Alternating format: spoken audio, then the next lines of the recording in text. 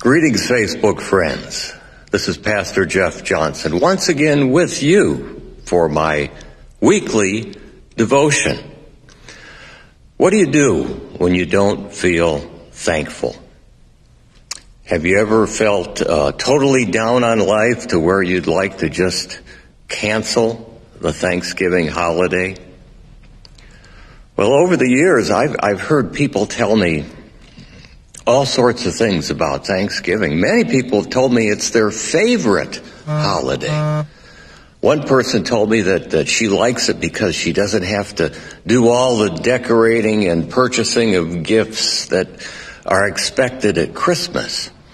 She said, all I have to do is provide a meal for my friends and family and we can gather and be thankful. Well, uh, providing a Thanksgiving meal for guests is not uh, always an easy thing, but, but yes, I understand the point. The meaning of Thanksgiving is very clear. It's about expressing our thankfulness for the people in our lives, and most importantly, for God.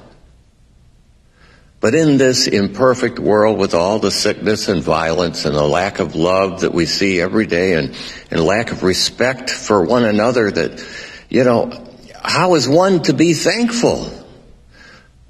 Well, I guess thankfulness in our world today uh, has to start with acknowledging that there are many things that are distressing and sad. Uh, we don't have to pretend like they don't exist. Uh, we express our feelings about the challenges in our lives. But friends, at some point, we will come around to thank the good Lord for all that He has provided and continues to provide for us every day.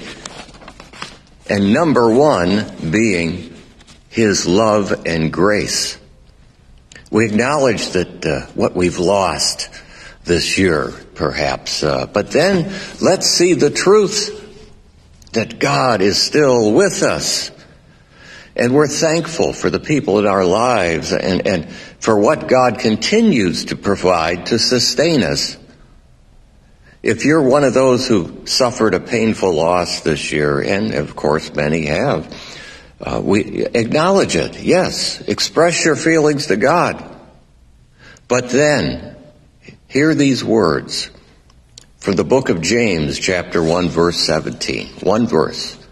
Every good and perfect gift is from above, coming down from the Father of the heavenly lights, who does not change like shifting shadows. Someone said this. Even on our worst days when everything seems broken, we can find peace in God's love and give thanks for God's many blessings. You and I are going to get through our present challenges.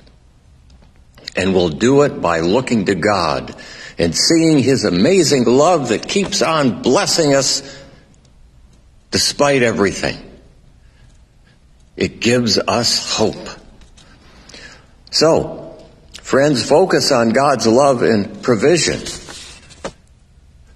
The folks here at St. John's United Church of Christ in Orwigsburg, PA wish you a good and a meaningful Thanksgiving holiday. And if you want to get a jump start on it, join us for community Thanksgiving Eve service Wednesday before Thanksgiving. That's tomorrow night if you're watching this on Tuesday at 7 p.m. here at St. John's. Let's pray.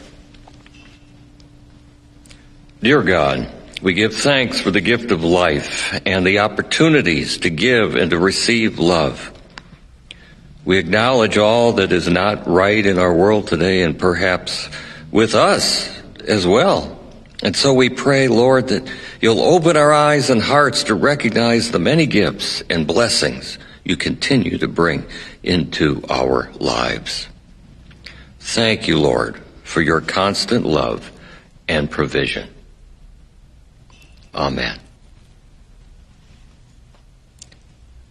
And God bless you. And I'll see you soon here on this Facebook page. Keep looking up.